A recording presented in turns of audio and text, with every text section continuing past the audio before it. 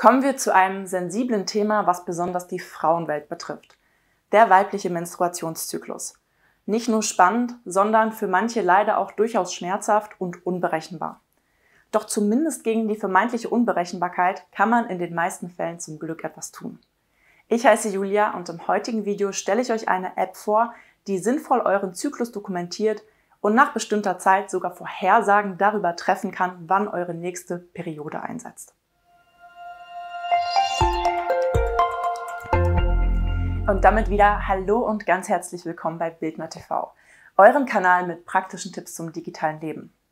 Der weibliche Monatszyklus ist von Frau zu Frau unterschiedlich und sehr individuell. Was aber wahrscheinlich alle Frauen miteinander vereint ist, dass ja, der monatliche Besuch einer Blutung als unangenehm bzw. als Belastung empfunden wird.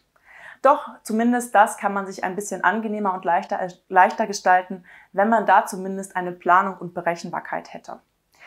Dafür stelle ich euch im heutigen Video eine App vor, die euren Zyklus nicht nur dokumentiert, sondern auch analysiert und Vorhersagen darüber treffen kann, wann vermutlich die nächste Blutung einsetzt. Für diejenigen von euch, die unter unregelmäßigen Perioden leiden und gar nicht so genau wissen, wann die nächste Blutung einsetzt, kann die App helfen, eine Statistik und eine Prognose zu erstellen anhand der Informationen, die ihr hinterlasst. Die App, die ich euch vorstelle, heißt Clue und ist kostenlos für alle Android-User im Google Play Store erhältlich und für alle iOS-User im Apple App Store. Die App, die ladet ihr euch einfach mal zunächst herunter und richtet sie mit Registrierung ein. So, wenn ihr die App heruntergeladen habt, werden einige Daten von euch erfragt, die zur Individualisierung gedacht sind. Die App nutzt die Informationen dafür, um eine Analyse über euren Zyklus zu erstellen.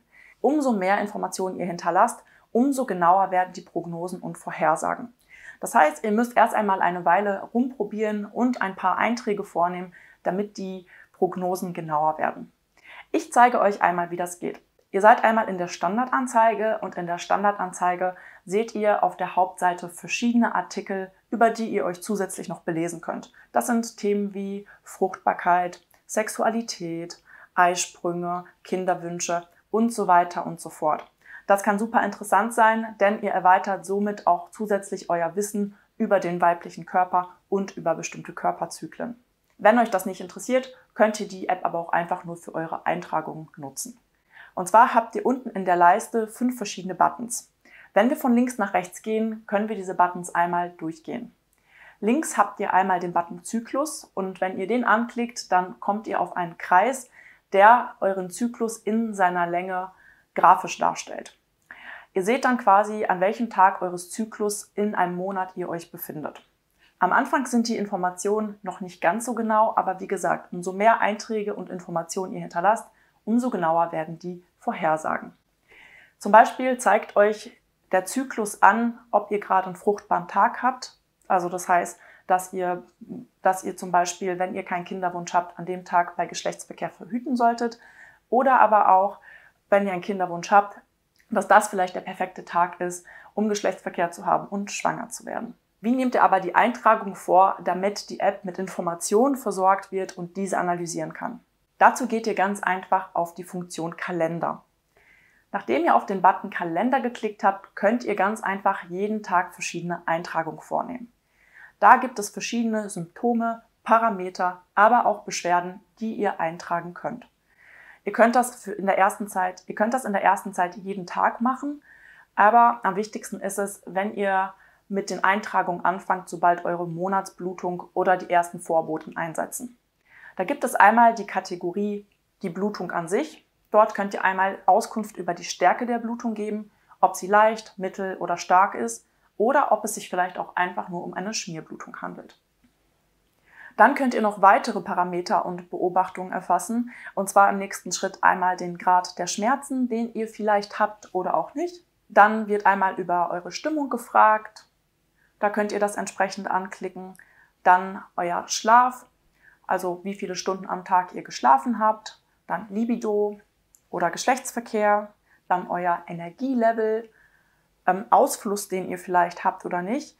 Das ist vielleicht äh, für manche ein bisschen schwierig zu beschreiben, aber ihr habt dort vier verschiedene Varianten zur Auswahl, von denen ihr aussuchen könnt, was am ehesten zutrifft. Dann wird auch nach eurer Verdauung gefragt, nach eurem Hautzustand, nach eurem Gewicht und nach eurer Motivation.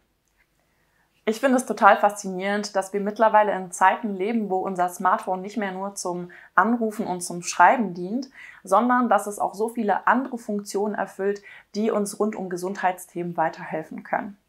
Wenn ihr an noch mehr Funktionen eures Smartphones interessiert seid, dann schaut auch gerne bei Bildner Verlag vorbei. Dort gibt es eine riesengroße Auswahl an verschiedenen Büchern rund um das Thema Smartphone, die nachvollziehbar, verständlich und anschaulich formuliert sind. Wenn ihr einen Kommentar unter diesem Video hinterlasst, dann nehmt ihr automatisch an unserem wöchentlichen Gewinnspiel teil. Kommentiert also ganz fleißig unter diesem Video und vielleicht gehört ihr zu den Gewinnern, die diese Woche ein kostenloses E-Book oder ein Buch in Papierformat aus dem Bildner Verlag gewinnen. Beantwortet mir dazu doch folgende Frage. Und zwar, habt ihr schon mal Erfahrungen mit Periodentrackern gesammelt und seid ihr interessiert daran? Ich freue mich wahnsinnig sehr über eure Antworten und viel Glück beim Gewinnspiel. Für diejenigen von euch, die unter Menstruationsbeschwerden leiden oder vielleicht auch nicht unbedingt unter Beschwerden, wissen, dass die Stimmung und der körperliche Zustand sich vor und nach und während der Menstruation verändert. All die Parameter, Beobachtungen und Symptome, die ihr hier beschreibt, haben Einfluss auf den Hormonhaushalt, die maßgeblich für euren Menstruationszyklus sind. Wenn eure Menstruation zum Beispiel ziemlich unregelmäßig kommt, wird euch die App auch darüber informieren. Aber dazu mehr unter dem Punkt Analyse, denn da gehen wir jetzt einmal weiter. Auf dem Button Analyse habt ihr eine genaue Auflistung und Auswertung eurer bisherigen Informationen und Einträge. Clue dokumentiert nicht nur, sondern analysiert auch. Das heißt, umso mehr Informationen ihr hinterlasst, umso genauer sind die Vorhersagen und Prognosen, die Clue darüber trifft.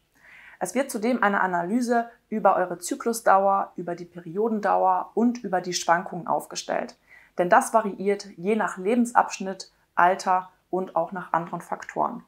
Clue klärt euch darüber auf, ob ihr euch mit diesen Parametern im Normalbereich befindet oder ob ihr eher im anormalen Bereich seid. In letzterem Fall solltet ihr euch bei einem Gynäkologen oder bei einem Frauenarzt vorstellen, um dies abzuklären. Der Vorteil ist aber, wenn ihr die App regelmäßig nutzt, habt ihr alle Daten sehr genau dokumentiert und könnt mit eurem Gynäkologen oder Frauenarzt sehr genau über euren Zyklus sprechen. Das ist zum Beispiel ein Fakt, den viele im Trubel des Alltags sehr leicht mal vergessen und man sich nicht mehr so genau erinnern kann, wann denn die letzte Periode war, wie lange sie angedauert hat, wie stark die Blutung war und vor allem, wie die Begleitsymptome ausgesehen haben. Das ist super praktisch, über einen Langzeitverlauf Informationen darüber geben zu können um sich mit dem Frauenarzt darüber auszutauschen. Und falls alles im Normalbereich ist, ist es für einen selber trotzdem ja, sehr praktisch zu wissen, wann denn voraussichtlich die nächste Periode einsetzen wird. Im letzten Punkt seht ihr einen Button, wo ihr genau über die Artikel auf der Hauptseite informiert werdet, wo ihr euch stets darüber belesen könnt, was für neue Informationen und Artikel es zu Gesundheitsthemen denn so gibt. So bleibt ihr immer auf dem Laufenden.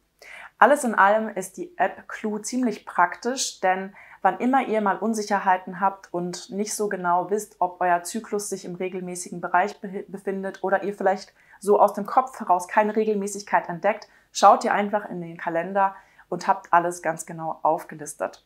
So, das war's auch schon mit diesem Video. Ich bedanke mich ganz herzlich fürs Zuschauen und hoffe sehr, dass ich euch weiterhelfen konnte, eine Anregung zu geben, die App einmal für euch auszutesten, um eure Menstruation analysieren zu lassen.